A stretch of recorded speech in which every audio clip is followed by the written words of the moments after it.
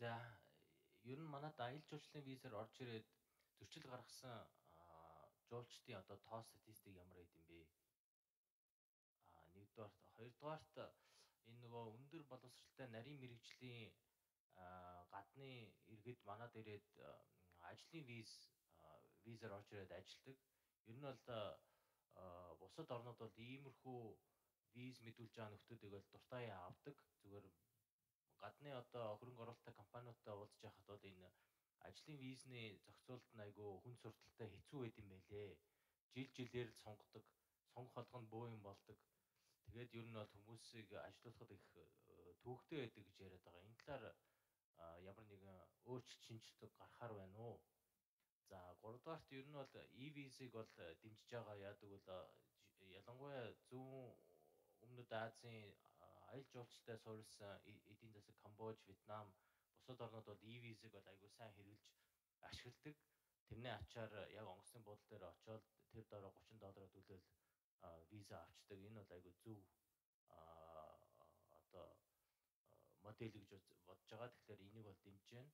Аа тэгээ сүүлийн асуулт нь болохоор энэ консулын газрын ер нь манай гадаадад суугаа консулууд ч яг одоо гадаад яамны хүмүүс байд юм уу? Миний ойлгосноор бол тэр тагнуулын нөхдүүд байд юм биш үү?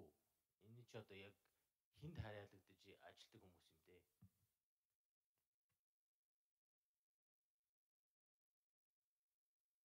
За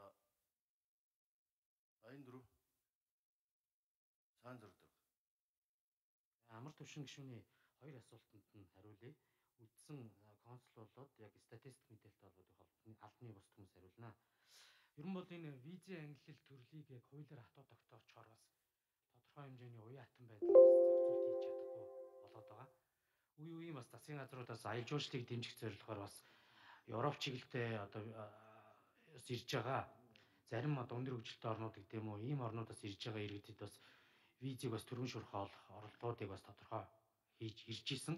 Гэхдээ энэ эргээд бас хууль эрх зүйн талаасаа бас тодорхой хүндрэлүүд үүсэж исэн учраас энэ удаагийн нэмэлтийн өөрчлөлтөөр бас хуулиас визийн ангилал төрлийг тогтоодгийг болоод засгийн газар өөрийнхөө хэмжээндээ гадаад харилцааны яам болоод хууль зүйн яамны саналыг үндэслээд бас аль болохоор уян хатан цаадалтаа аялалтын олон ангилалтай зуйлчлал хөдөлмөр эрхлэлт болоод эргээд одоо тодорхой чиглэлүүдээрээ бас их уян хатан зохицуултуудыг хийх нөхцлүүдийг бас бүрдүүлэх чиглэлдээ энэ хуулийн гол зорилго оршиж байгаа. Тэгэхээр бас таны хэлж байгаа тэр хүндрэлүүдийг бид нар бас шат чатанда шийднэ гэсэн.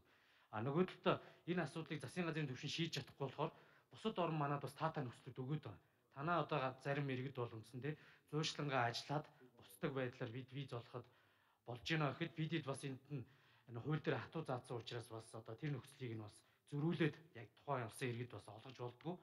Тэгэхээр энэ бүх байдлуудаас бас зарим хөндөрлүүд үүсэж байгаа учраас визийн ангил төрлийг бол засгийн газрын төвшөндөө шийднэ гэсэн байдлаар энэ хуулийн төсөл одоо орж ирж байгаа. За мөнх төшиг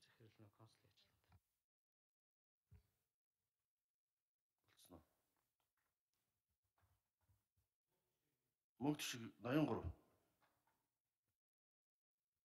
Амар төшин гişүн асуултанд хариулъя. Тэгэхээр телефон төлөөгчийн газрын ажилтнууд бие бүрэлдэхүүн томилгоотой холбоотой зарим асуудал бас нууцын зэрэгтэй байдаг учраас танд гадаад харилцааны яамнаас яг таны асуусан асуултад албан бичгээр хариу өгье.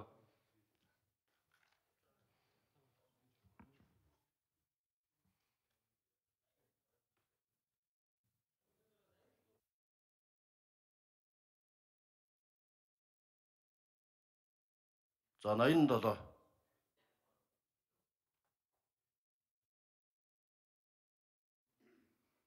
За тэгэхээр сүүлийн 3 жилийн байдлаар юу яг жуулчин английн визтэй ирээ төрчил гаргасан иргэдийн тоог бол 900 орчим иргэн байна. За энэ дотор англиа үзэх юм бол бас яг ирсэн зорилгоос өөр ажиллагаа явуулсан буюу түрүүний таны гишүүндэд орцсон шиг хууль ёсоор хөдөлмөр хэлсэн за суралцсан зэргийн төрлүүд нь багтаа явцдаг байгаа.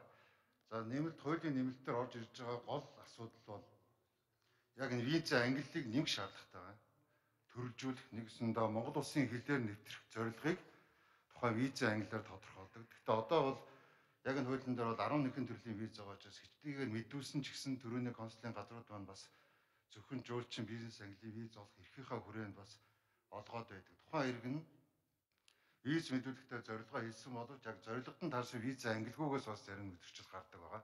Тэгэхээр энэ хуулийн нэмэлт өөрчлөлтөөр энэ зөрчилтэйг арилгах үүднээс виз ангиллуудыг бол төрөлжүүлж нэмэхээр зохицуулт оруулсан байгаа. Энэ бүрэгдүүлж гişүн орлого 3 дахин өссөн эргээд буурсан гэсэн тэрэн дээр бас тодруулж. Хариулт. Тэр орлого тухайн 13-ны үед бол хэлийн боомтод дээр виз олголт нэлээд нэмэгдсэн байгаа.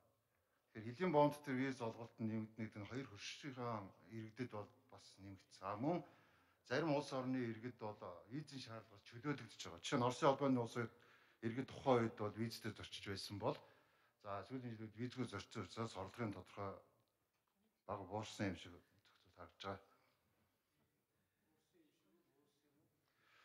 Буурсан.